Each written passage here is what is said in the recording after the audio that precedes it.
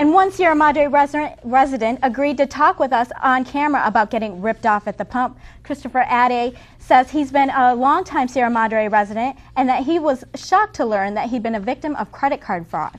Thanks for going on camera with us. Good evening, Sehnita. Good evening. Um, well, when did you hear about this? How did how did this all take place?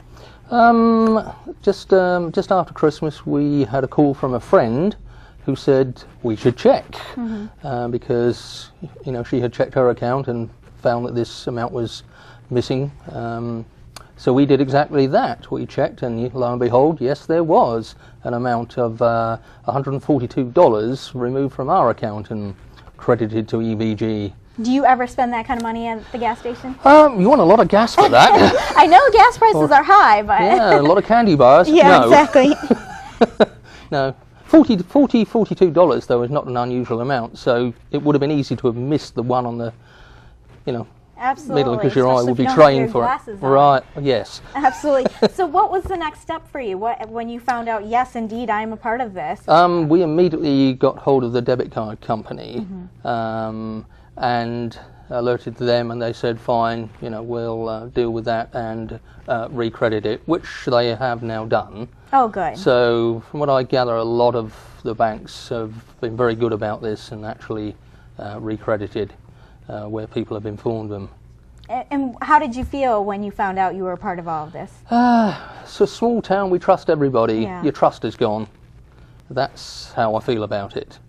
You know, and of course it's a pa- pa- more paperwork to deal with, reports, etc. So- So, You know, especially a place like Sierra Madre, you know, where you probably know a lot of your neighbors as well, and everybody knows everybody and everybody's friend, pretty much. and does this put you on guard a little bit more when either new businesses come in or? I think it will do. Mm-hmm. I certainly think it will do. Yes. Well, you know, I hope uh, that small town uh, good neighbor feel doesn't leave Sierra Madre, even though something like this happened. It's it's pretty huge that it's you know involving Secret Service and FBI and Yes, yes, indeed. Uh, one tends not to think about Secret Service in Sierra Abso- Madre.